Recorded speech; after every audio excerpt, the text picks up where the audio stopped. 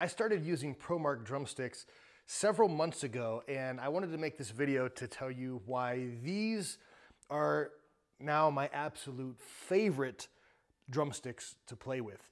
So I have every drumstick that you can think of. I've got Vic Firth, I've got Quick Beats, I've got this carbon fiber drumstick, and I do use all of these, but I find myself time and again at the end of a long session, let's say I'm practicing for like an hour, when you know when your forearm starts to get really worn out because you're playing something really fast on the hi-hat, the stick that I always end up with is the ProMark. Now I had the 5Bs, this is the 5A. And the reason that I love these, especially when you start to get tired, when you start to get a little bit sweaty, is because of the grip. So these feel like they have a very, very light layer of almost like rubber.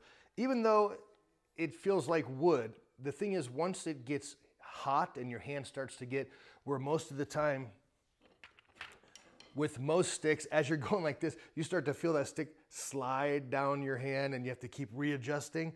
Well, that's when I switched to this stick. And these, the more sweaty your hand becomes, the more tacky this feels. So this just feels so much better. Like it's not, it doesn't slide down your hand. You have a much better grip. The weight of these is perfect. The balance of these is perfect. So I am a huge fan of these. And if you're looking for a really great set of drumsticks, ProMarks are awesome.